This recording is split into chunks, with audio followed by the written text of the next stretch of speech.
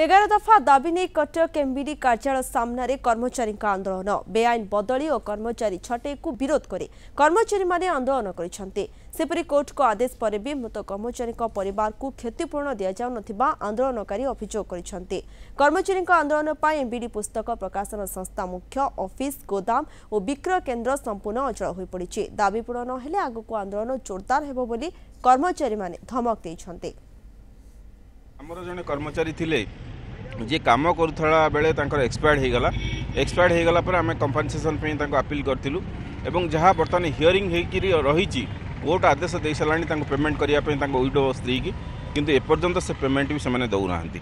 ଏସବୁକୁ ନେଇ ଆମେ ଦୁଇ ଦିନିଆ ଧର୍ମଘଟ କରିଥିଲୁ କାଲି ଥିଲା ଏବଂ ଆଜି ଥିଲା। ଏହି ଧର୍ମଘଟ ପରେ ଯଦି କର୍ତ୍ତୃପକ୍ଷ ଠିକ୍ ଭାବରେ ଆକୁ କାର୍ଯ୍ୟକାରୀ ନ କରନ୍ତି ଆମ ଦାବିକି ସମାଧାନ ନ କରନ୍ତି ଏ ପ୍ରତିବାଦ ଆହୁରି ତୀବ୍ରତା ହେବ ଏବଂ ସାରା ଓଡ଼ିଶାରେ ଏମ୍ଇଡି ବିରୁଦ୍ଧରେ ପ୍ରଚାର ଅଭିଯାନ ଆରମ୍ଭ କରାଯିବ।